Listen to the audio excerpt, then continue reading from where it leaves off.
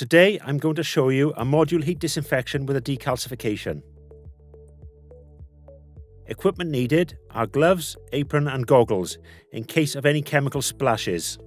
Warning, the WRO water loop must be disconnected from the dialysis machine prior to any chemical cleaning program. This means the large black hose at the back of the dialysis machine needs to be disconnected.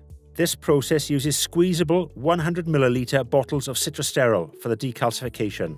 Most standard installations will use two bottles, but any WRO water loop greater than 5 metres will use three bottles. Again, this is the length of the large black hose that goes between the two machines. To start the cleaning program, press the menu button, which is at top right of the keypad. Use the arrows to scroll down once to clean in and press the enter button, which is the green central button. Once in the cleaning menu, Arrow down again to start module, heat disinfection, and press and hold the enter button for 3 seconds. Then arrow down once, press enter to start decalcify.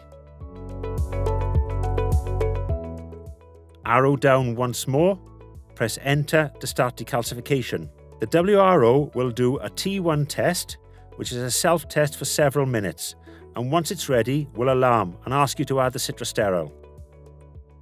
Now you should add the required amount of Citrosteril to the fill port. Two bottles are standard and three for any hose lengths above 5 metres.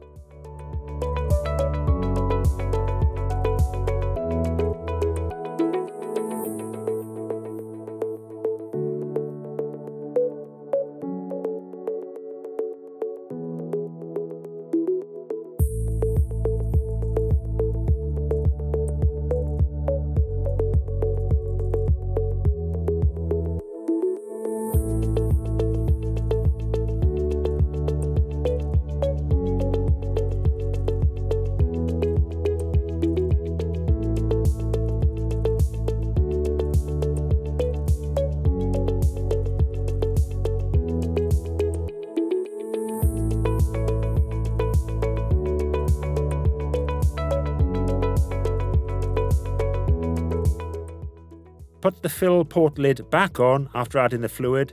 Press enter to start decalcification. The WRO will now start the first of nine phases of the program. The total time of the program is displayed at the bottom of the display and is around 187 minutes long. This is not exact as the process can be slightly quicker or slightly longer depending on the inlet water flow, but it's a rough guide.